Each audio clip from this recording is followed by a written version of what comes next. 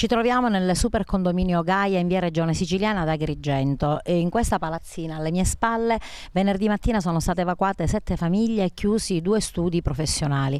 È lo scenario che si presenta all'interno del super condominio Gaia, sito in via Regione Siciliana ad Agrigento, interessato dallo scorso 25 febbraio da lavori e scavi di ripristino della rete fognaria comunale da parte di Girgenti Acque.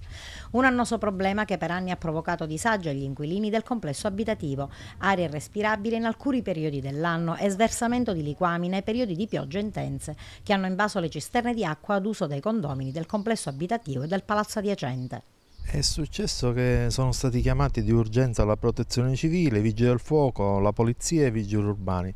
Sono arrivati tutti, però ancora oggi da venerdì siamo senza gas e senza luce.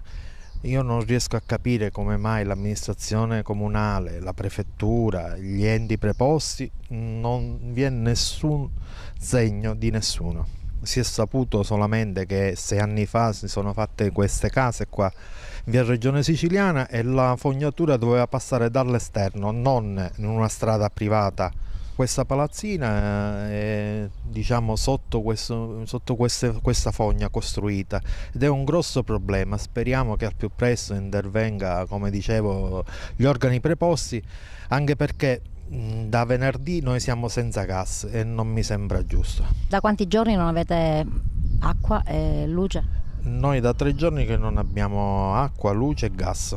I lavori procedono alacremente notte e giorno per risolvere il problema. Gli interventi in corso riguardano il rifacimento del collettore fognario comunale che insiste all'interno di una proprietà privata su cui è stata costruita un'unità immobiliare facente parte del complesso residenziale, spiegano da Girgenti Acque. La causa della fuoriuscita di liquame è riferibile, continuano ancora, non solo al peso della struttura che insiste sul collettore, ma al percorso variato senza dovuta comunicazione rispetto al progetto originario.